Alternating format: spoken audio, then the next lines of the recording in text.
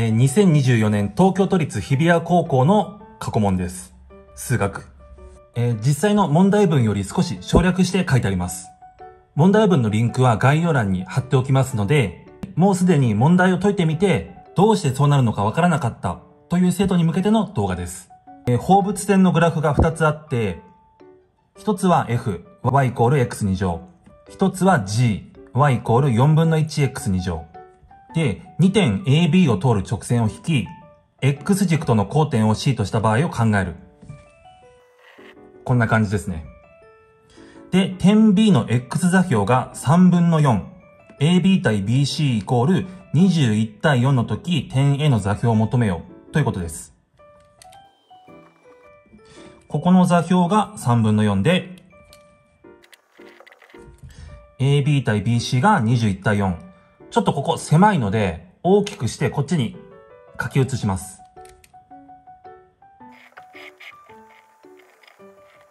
点 A、点 B からのそれぞれ X 軸への垂線の足を A' と B' とします。解き方の方針としては、これ、中3の後半で習う相似っていう単元の考え方を使うんですけど、まあ、日比谷高校受ける子たちはおそらく夏とか、まあ遅くとも9月くらいにはそういったところは終わってると思います。で、今、CB 対 BA の比が分かってるので、あとは、BB ダッシュが分かれば、AA ダッシュの比も分かる。で、今分かってるヒントはこの3分の4。これは X 座標が3分の4なので、この原点からの距離。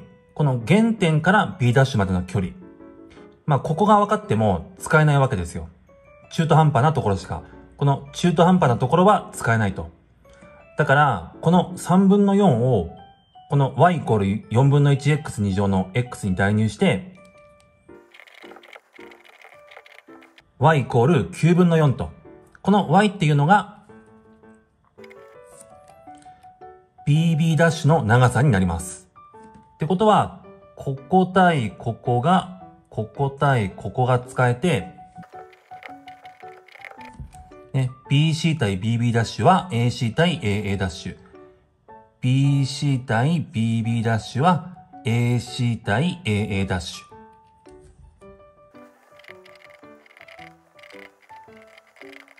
下これ見えてるかな？ね。で、AA ダッシュの長さが9分の25と求まりました。この9分の25っていうのは、もちろんこの点 A の y 座標です。この放物線の y に9分の25を代入すると、9分の25は x2 乗。まあつまり x はプラスマイナス3分の5。ですが、点 A はマイナス側にありますので、答えは、マイナス3分の5と9分の25になります。はい、問1おしまい。で、今度は問2の括弧2。問2の括弧1は、リンク先に解説もついた答えが載ってます。じゃあ今度ね、この問2の括弧2。これは答えしか載ってないから、私が解説をします。でね、これがね、結構難しい。これを、まあ、時間内に解けるようにするには、まあ、結構ね、練習がいると思います。えーどういう問題かっていうと、図のように点 A、B、D があって、この直線 N と Y 座標は平行です。平行と。で、直線 M と X 座標も平行です。平行と。で、直線 M と曲線 F、この y イコール x2 乗の方との交点を F とすると。で、BF イコール2分の1センチ。この間隔が2分の1。で、AD が2センチの時、ね、2点 AF を通る直線の式を求めようと。こんな感じね。まあ、つまり、この問題のゴール地点は、この y イコール ax プラス b の a と b を求めるところがゴールです。で、この問題、さっきも言ったけど結構難しくて、まあ初めてね、この問題挑戦した生徒は、いろんなところに補助線を引いて試行錯誤したと思うんですけど、まずね、注目すべきは、この2分の1です。この2つの放物線、F と G のこの間隔、ここが2分の1であると。で、放物線、で、この放物線と放物線の間隔っていうのは、こう、上に行けば行くほどどんどん広がっていって、それぞれの Y 座標に対応するこの間隔っていうのは、その Y 座標特有の、その Y 座標だけの値になります。言い換えると、間隔が2分の1になるような Y 座標っていうのは一つしか定まりません。まあ、それはね、感覚的にわかると思います。まあ、つまり、この直線 M の Y 座標を文字で置けば解けると。具体的には、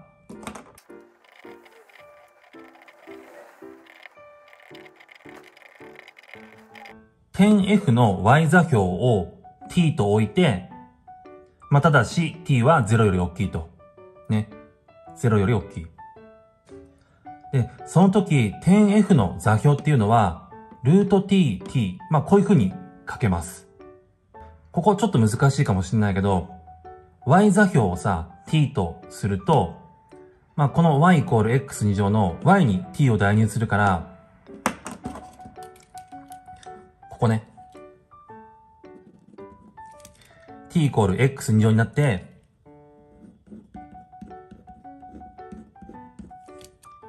x はプラスマイナスルート t になりますよね。で、点 F っていうのは X 座標の右側にあるので、点 F の座標はこうなると。まあ、これね、なんで Y 座標の方を t と置くかっていうと、これ X の方を t と置いちゃうと少し計算が面倒になるので、あえて Y の方を t としてます。で、続いて、このね、点 F から Y 軸に下ろした水線の足、ここを点 F' として、この F'FB を抜き出して、ここに拡大して書きます。すると、この F と B の隙間が2分の1であると。で、この時、F'F が、ルート t なのがわかりますでしょうか？ね、この F の X 座標がルート t だから。ってなると今度は F'B の長さもわかります。F'B の長さっていうのは、もちろん B の X 座標。B っていうのは放物線 y イコール4分の 1x2 乗上の点だから、で、y 座標っていうのがね、この点 F と同じなので、ここに、この y に t を代入すると、t イコール4分の 1x2 乗。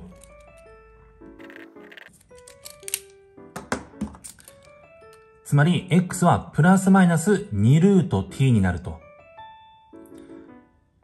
で、同様に、点 B っていうのは x 軸の右側にあるので、f' から b の長さは2ルート t。つまり、2ルート t 引く t は2分の1と。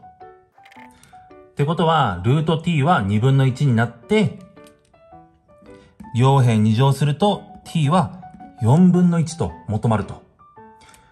これで点 F の座標が分かりました。で、そうすると、なんと点 A の Y 座標も分かります。なぜならば、この点 D から X 軸への水線の足、ここを D' とするならば、今この dd' の長さがわかりますよね。それは点 F の y 座標だからです。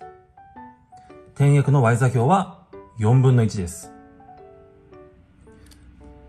つまり、点 A の y 座標っていうのは2たす4分の1で、4分の9です。点 A っていうのは、この y イコール x2 乗上の点なので、点 A の座標は、マイナス2分の3、4分の9と判明します。ね。あとは2点の座標が分かったので、連立方程式、もしくは傾き求めてっていう風に解くこともできますし、あとはね、この三角形 ADF を抜き出して書いてみると、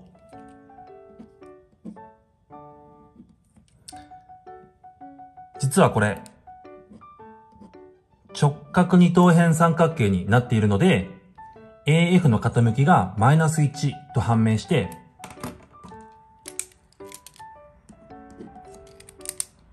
で、また、掃除費を使って、切片を求めることもできます。